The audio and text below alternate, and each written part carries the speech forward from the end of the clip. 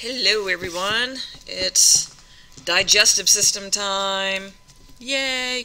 I know you're excited as I am. Alright, so unit 8, this is 8-1, digestive system, 8-1. Um, you know, all this stuff right in here. Okay, let's take a look. So, your digestive system takes in food, breaks it down into its individual little molecules, absorbs these molecules into your bloodstream, and then gets rid of all the stuff that your body couldn't digest or break down and expels it as poo. We're going to take a look at this chapter into three chunks. First part is just a basic overview of like how it lies in your abdominal cavity and all the serosa that go with it. And then we have anatomy, so the actual organs themselves, and then the physiology, how they do their job. Okay, the organs of your digestive system fall into two categories. We have the alimentary canal, which goes with these organs here, and then we have the accessory organs, which goes with this category here. So the alimentary canal, I had said that it directly touches the food, but that's actually not the best thing because your teeth and your tongue also directly touch the food. So a better way to describe the alimentary canal is just uh, the tube that extends from your mouth to your anus. And so it goes mouth, pharynx, which is the back of your throat, esophagus, stomach, small intestine, large intestine, and then if you want to get fancy, you can include the uh, you know rectum and the anus as well. Now, the accessory digestive organs, these are ones that uh, don't really touch the food, but they just kind of help out. And so, like I said, the doesn't touch the food part doesn't really go. Um, but the teeth and tongue, they help out. So they're not, you know, needed essentially, but they definitely help out. Gallbladder, salivary glands, liver, and pancreas are all examples of accessory glands. All right, so here's a picture kind of showing uh, all of those. So here's the tongue, right here, and these are, looks like the epiglottis, which is at the base of your tongue. Esophagus, pouch of your stomach. And then it does a little loopy, which is called the duodenum, and then um, it, that kind of holds your pancreas for you. Then we have the jejunum, which is the first part, and then the ileum, which is the last, like two-thirds. And then it uh, extends to the large intestine here. That right there, that is your appendix large intestine, down, down, down, down, down, till we end up at the anus where the poo comes out. So these are, all these organs here are direct organs of the alimentary canal. Now over here we see we've got the accessory organs. We've got the glands, a couple different types of glands located in and around your mouth. We've got the liver here, gallbladder here, and pancreas here, which are all um, accessory in the fact that they help with the digestion. Okay, there are six different activities that take place during digestion, and they typically go in this order, but some can occur at the same time as others. First thing is ingestion, and that's just the taking in of materials into your mouth. Um, it could be you know, liquid, solid, doesn't really matter. So I ingest my food, so I put it into my mouth. Then we have propulsion, which is moving food through the system.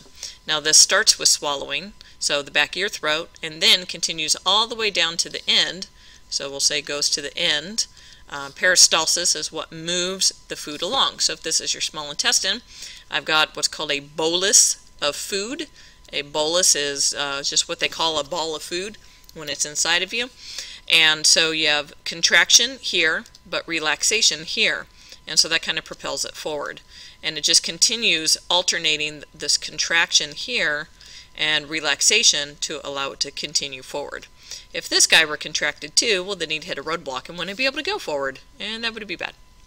Okay, the third step we have is mechanical digestion. So this is the physical process of digestion. So it's chewing, it's mixing of food either uh, by your tongue or inside of your stomach, and also segmentation. You don't want this whole giant chunk going in your intestine at the same time. So what it does is it, it breaks it off into small little sections or segments and then gives it to your intestine just a little bit at a time. Doesn't want to overwhelm it. Then we have chemical digestion, which is the actual enzymes and the acids and the chemicals that are produced by your mouth, your stomach, and your small intestine that help to take this food in a big chunk and turn it into little chunks.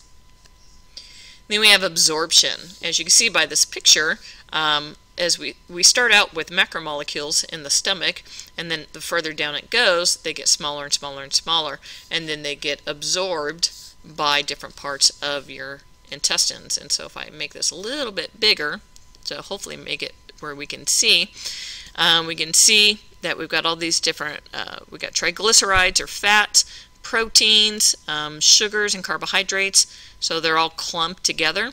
But as you go down, you can see that calcium gets absorbed here, um, folate, fat-soluble vitamins, fatty acids, uh, monoglycerides, vitamins B12, water, uh, more B12, more water, intrinsic factor, and then all the way down to really there's nothing left. The only thing that gets absorbed here is water.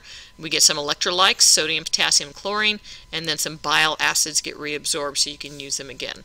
So as you can see, a lot of absorption goes on along the way. And then whatever we don't absorb, well then we're down to defecation, which is the elimination of all the stuff that we can't absorb. And so as you can see here, all these dark shadows, that is all poo. I mean, you can even see the general shape of the poo. So this is like a, gosh, it looks like a six foot long turd that is just waiting to get out of this poor little guy's body.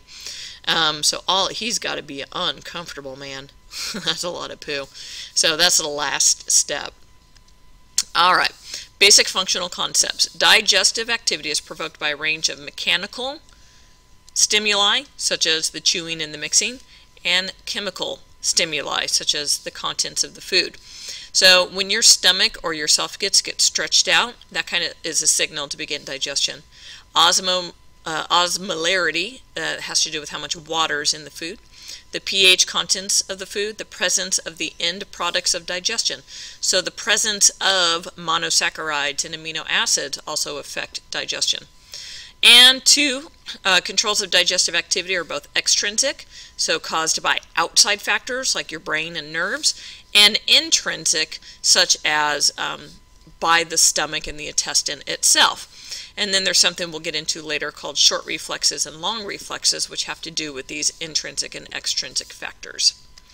All right, so up next, 8-2 is the digestive organs and how they're placed within your abdominal cavity. So have a wonderful day, and I will talk to you guys tomorrow. Bye-bye.